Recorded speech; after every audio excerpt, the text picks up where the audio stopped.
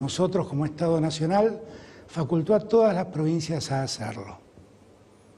Ahora, yo sé lo que cuesta conseguir las vacunas. Y estoy seguro que más de un gobernador debe haber intentado comprar vacunas para su pueblo. Y le ha sido difícil, porque los que producen vacunas prefieren negociar con los estados nacionales.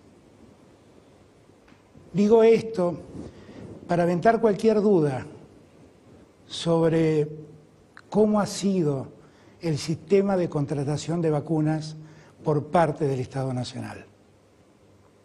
Y también porque no quiero lastimar a nadie.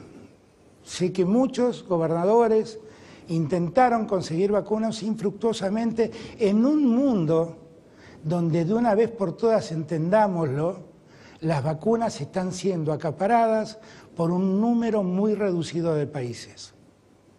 Y nosotros estamos entre esos países que irónicamente tienen cierto privilegio de poder seguir accediendo a vacunas y vacunando a su pueblo.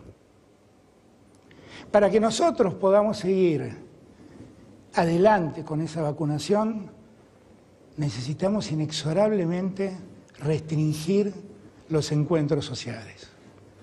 Ya está visto que el problema del contagio no está en las fábricas, no está centralmente en los negocios donde con, eh, con, distancia social se puede atender a los clientes.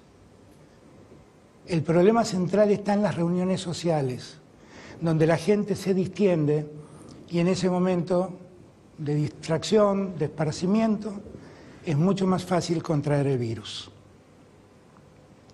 Por eso nosotros, la semana pasada, propusimos restringir la nocturnidad.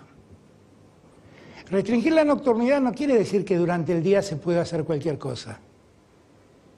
Lo que quisimos fue evitar que después del trabajo la gente se relaje, genere encuentros y en esos encuentros se contagia.